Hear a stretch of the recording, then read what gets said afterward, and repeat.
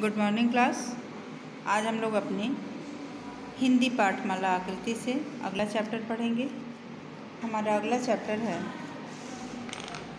टिंगू की क्या गलती थी?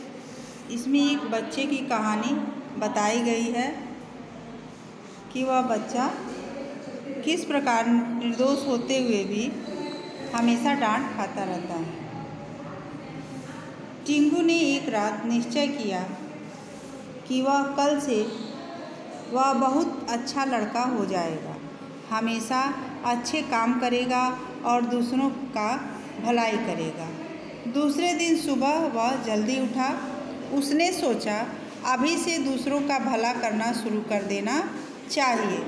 उसने देखा कि बड़े भैया अभी तक सो रहे हैं। देर तक सोना अच्छी बात नहीं है। फिर सोचा सबसे पहले मैं भैया का भला करूँगा। उनमें जल्दी उठने की आदत डालूँगा। उसने भैया की रजाई खींचकर कहा, भैया उठो, देर तक सोना खराब बात है। भाई ने ऊँ, आ, की और रजाई खींचकर करवट बदलकर फिर सो गए। टिंगू को तो भैया का भला करना ही था। वह ठंडा पानी ले आया और उनके मुँह पर डाल दिया। भैया चिल्लाकर उठ बैठे, उन्होंने टिंगू को दो चाटे जमा दिए। अब रोना भी ज़रूरी था। टिंगू थोड़ी देर रोता रहा, वह कहता रहा, हम तो भला कर रहे थे, उल्टे हमें मार पड़ गए। टिंगू थोड़ी देर टेटू करके चुप हो गया।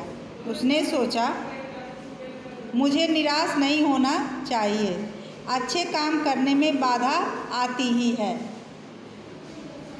वह बड़ी देर सोचता रहा कि अब किसका भला करना चाहिए। उसने, उसे पिताजी की सिगरेट की डिबिया दिखी। उसने मन में कहा, बस, अब पिताजी का भला करूँगा। सिगरेट पीना खराब बात है। पिताजी को सिगरेट नहीं पीने दूँगा। उसने सिगरेट का पैकेट उठाया और नाली में फेंक दिया। थोड़ी देर बाद पिताजी ने हल्ला मचाया। मेरा सिगरेट का पैकेट कहाँ गया? बड़ी देर बाद टिंगू ने कहा, मैंने नाली में फेंक दिया। पिताजी को गुस्सा आया, वह चिल्लाए, क्यों फेंक दिया? टिंकू ने कहा, बाबूजी, सिगरेट पीना खराब बात है। पिताजी को और गुस्सा आया। उन्होंने टिंगू को एक चाटा जड़कर कहा, उल्लू कहीं का, मेरा चाचा बनकर मुझे सुधारता है। टिंगू एक कोने में जाकर फिर रोने लगा। दो आदमियों का भला करने में तीन चाटे पड़ गए। उसने सोचा, अब क्या करूँ? इतने में बूढ़े बाबा ने पुकारा, टिंगू, इधर आना।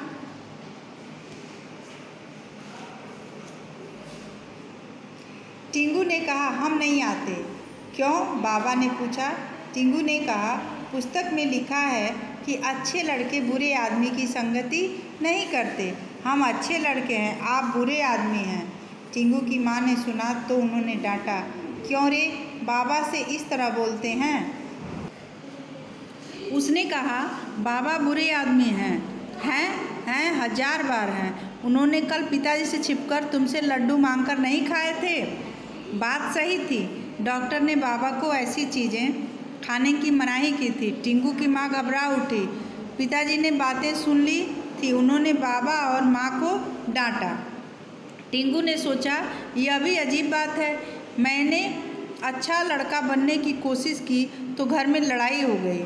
मुझे घूसे थप्पड़ पड़े, सो अलग। टिंगू ने सोचा, भगवान से प्रार्थना करनी चाहिए। वह भगवान के चित्र के सामने खड़ा हो गया।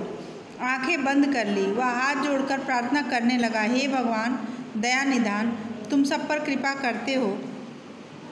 सबकी इच्छा पूरी करते हो। सड़क पर वकील साहब के अहाते में अमरूद का पेड़ है।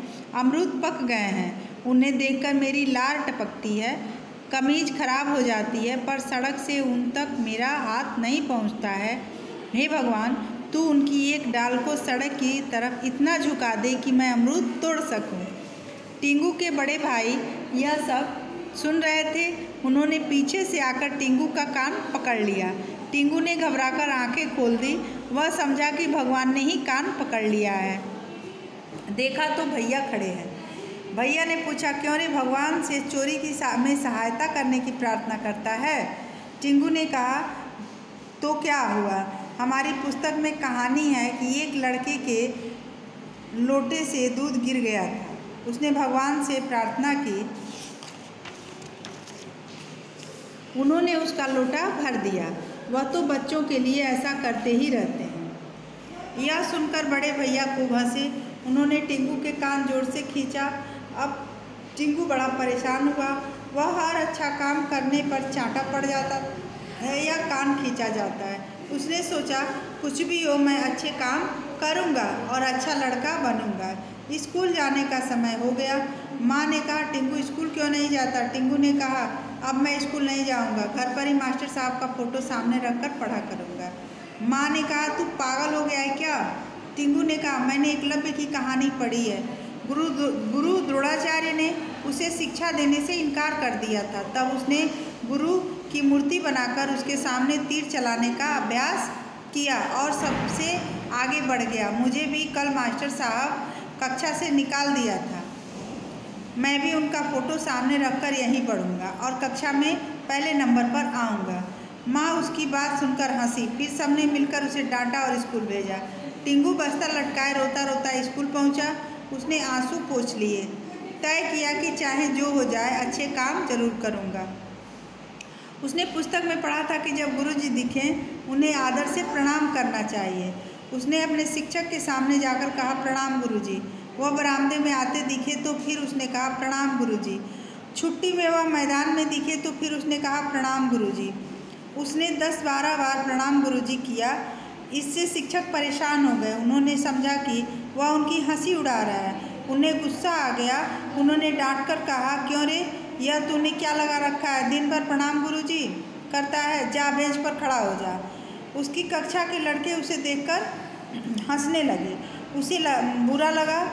उसका मन हुआ कि एक एक को पीटे। फिर उसने सोचा कि क्रोध करना अच्छी बात नहीं है।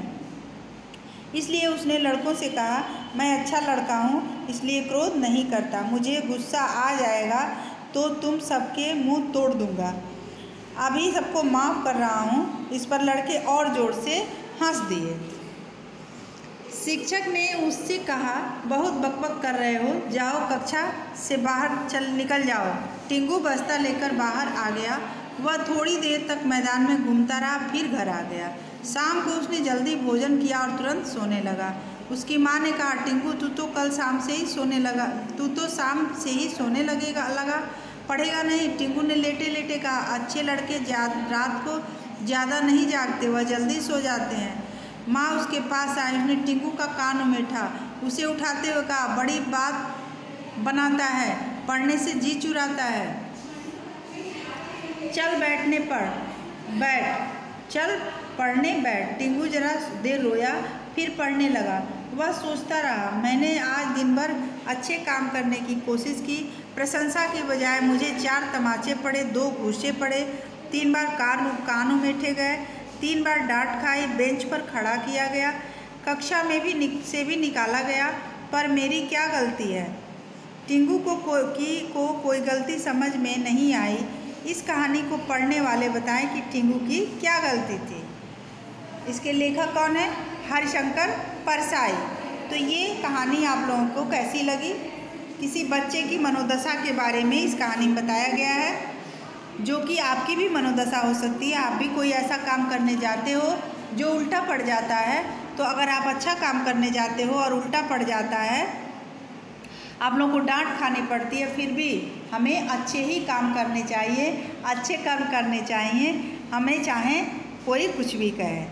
तो अब आगे बढ़ते हैं हम एक्सरसाइज की तरफ़। हमारा एक्सरसाइज है, शब्द अर्थ है, संगति का अर्थ होता है साथ, क्रोध का अर्थ होता है गुस्सा जी चुराना का अर्थ होता है कार्य से बचना, प्रार्थना का अर्थ होता है विनती लाल टपकना का अर्थ होता है लालच करना। ठीक है? अगला एक्सरसाइज है, सही उत्तर पर सही का चिन्ह लगाओ। टिंगू ने गुरुजी ने टिंगू को इसलिए दंडित किया क्योंकि वह शरारत कर रहा था, उन्हें चिढ़ा रहा था, वह बार बार प्रणाम कर रहा था, कुछ नहीं कर रहा था। तो तीसरा ऑप्शन सही है, वह बार बार प्रणाम कर रहा था। ख है टिंगू को डांट और थप्पड़ इसलिए खाने पड़े क्योंकि वह कलमंद था, शरारती था। उसका भलाई करने का तरीका सही न था, ये सभी। तो तीसरा वाला ऑप्शन सही है, उसका भलाई करने का तरीका सही नहीं था। ठीक है? देर तक सोना अच्छी बात है, ठीक बात है, खराब बात है, या कोई बात नहीं है। तो तीसरा ऑप्शन सही है, खराब बात है। ठीक है, ये हो गया एक्सरसाइज आप लोगों का। अगला है, सही या गलत लिखो। टिंगू को प्रशंसा के बजाय तमाचे व घूसे पड़े थे। सही है। वकील साहब के हाथे में आम का पेड़ था। गलत है, क्योंकि वकील साहब के हाथे में अमरूद का पेड़ था। ठीक है। टिंगू ने भैया को जगाने के लिए गर्म चाय बनाई थी। गलत है। उसने क्या किया था?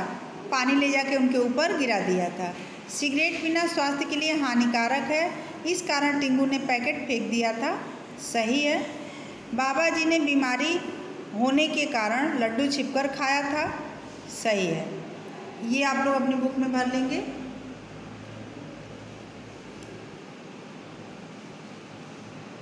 आगे बढ़ते हैं। आगे का एक्सरसाइज है हमारा। किसने किससे कहा? ठीक है? उल्लू कहीं का, मेरा चाचा बनकर मुझे सुधारता है? किसने कहा? पापा ने टिंगू से। टिंगू इधर आना, बाबा ने टिंगू से। क्यों ने भगवान से चोरी चोरी में सहायता करने की प्रार्थना करता है? भैया ने टिंगू से। ठीक है, ये भी हो गया आपका। अब क्या होता अगर? इसे आप लोगों को करना है अपने से? ये होमवर्क है आप लोगों का? टिंगू ने भैया के मुँह पर ठंडा पानी न डाला होता तो क्या होता? वो नहीं जगते और न उसे मार पड़ते। टिंगू ने बार बार गुरुजी प्रणाम न कहा होता तो क्या होता? गुरुजी उसे न मारते और न उसे दंडित करते। ठीक है? अब है रिक्त स्थान की पूर्ति करो। जा, बेंच पर खड़ा हो जा। जाओ, कक्षा से बाहर निकल जाओ। वह भगवान के चित्र के सामने खड़ा हो गया। डॉक्टर ने बाबा को ऐसी चीज़ें खाने की मनाही की थी। ठीक है?